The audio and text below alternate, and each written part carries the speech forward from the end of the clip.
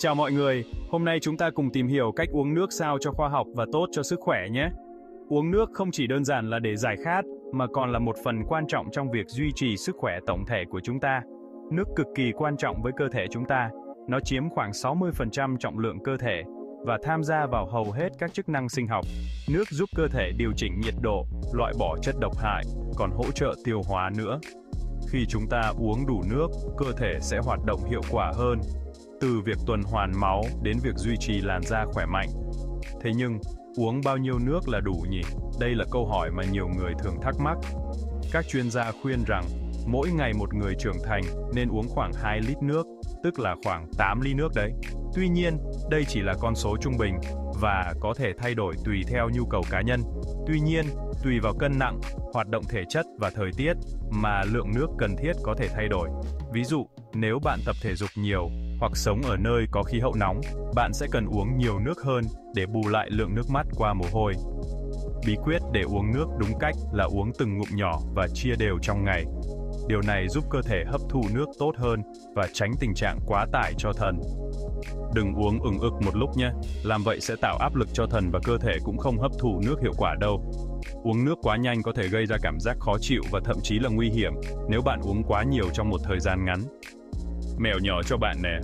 Sau khi thức dậy, hãy uống một ly nước để đánh thức hệ tiêu hóa và bù lại lượng nước đã mất trong lúc ngủ. Đây là cách tuyệt vời để khởi đầu ngày mỗi một cách tươi mới và tràn đầy năng lượng. Trước và sau khi tập thể dục, cũng nên uống nước để giữ cơ thể luôn cân bằng.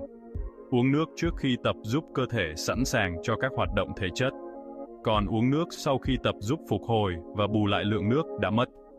Nước lọc là lựa chọn tuyệt vời nhất, nhưng bạn cũng có thể uống nước ép trái cây, trà xanh hoặc nước dừa. Những loại nước này không chỉ cung cấp nước mà còn bổ sung thêm vitamin và khoáng chất cho cơ thể. Tuy nhiên, hãy hạn chế nước ngọt có ga và nước uống có con nhé, vì chúng có thể gây hại cho sức khỏe nếu uống quá nhiều. Nước ngọt có ga chứa nhiều đường và calo rộng, còn nước uống có con có thể gây mất nước và ảnh hưởng xấu đến gan. Bạn cũng có thể đọc vị cơ thể qua màu sắc nước tiểu đấy. Đây là một cách đơn giản nhưng hiệu quả để kiểm tra xem bạn có đang uống đủ nước hay không. Nếu nước tiểu có màu vàng nhát, nghĩa là cơ thể bạn đang được cung cấp đủ nước. Màu sắc này cho thấy cơ thể bạn đang hoạt động tốt và không bị thiếu nước. Còn nếu màu nước tiểu đậm, thì bạn cần bổ sung nước ngay thôi.